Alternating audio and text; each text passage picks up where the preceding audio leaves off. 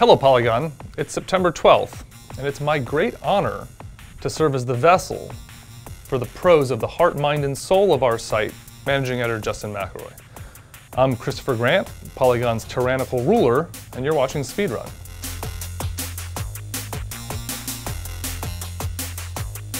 News editor Brian Crecente discussed Grand Theft Auto V's three protagonists with Rockstar's Dan Houser.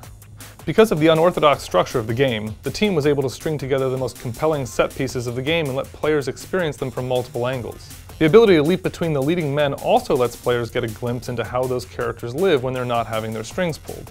It's a life he's living that you're not involved in, Houser said. As the storyline has progressed through the narrative, that life he's living will change. I wonder if my employees at Polygon have lives of their own when I'm not controlling them.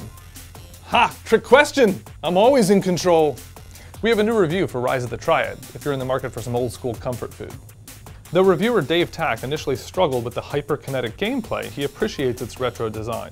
He said, Rise of the Triad is the purest of first-person shooters. I spent the overwhelming majority of my time moving forward through tight hallways and arenas, collecting colored keys to progress beyond locked doors, and blasting anyone in my way. It's simplistic, but Interceptor shows some real talent at recreating old school tropes.